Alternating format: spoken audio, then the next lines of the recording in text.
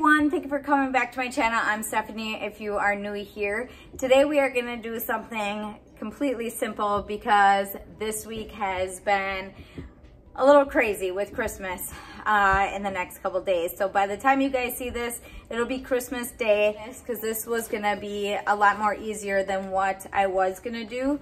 So I found these heat and eat cinnamon rolls ready in less than 30 seconds in the microwave.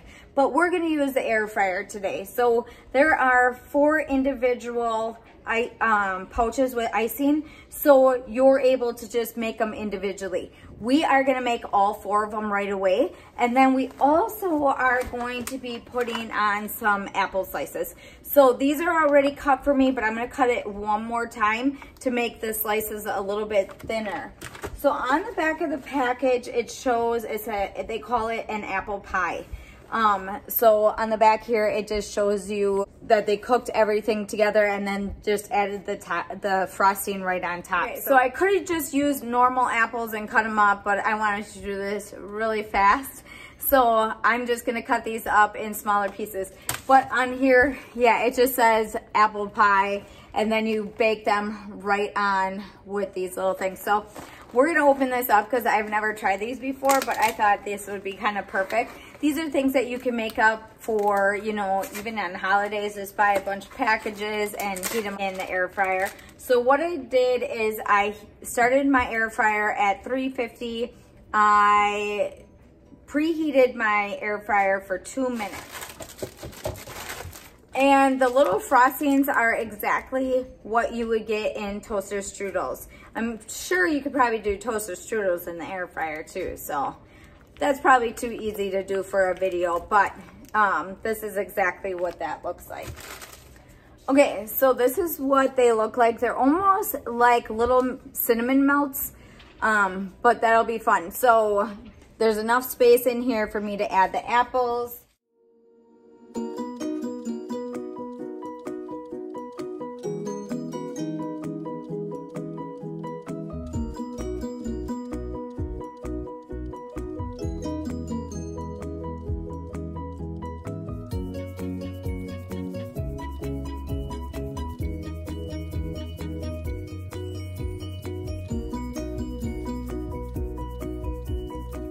These in here.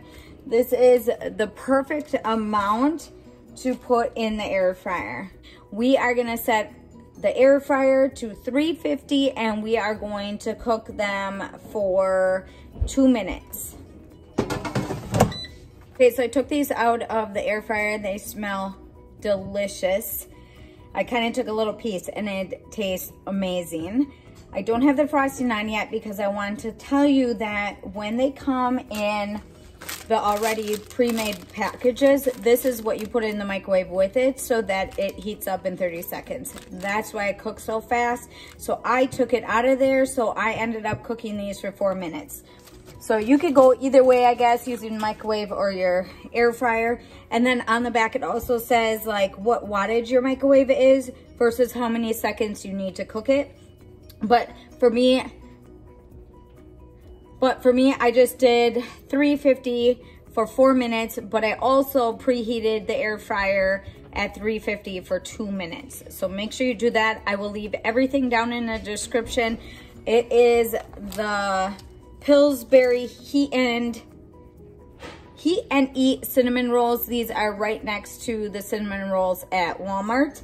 Um, and maybe they have them other places too, but this is where, this is where I got them from. And then as for the frostings, they have the little, I kind of messed that one up, but on the top here, they have little pour things, but this one got messed up. So we're just gonna go like this.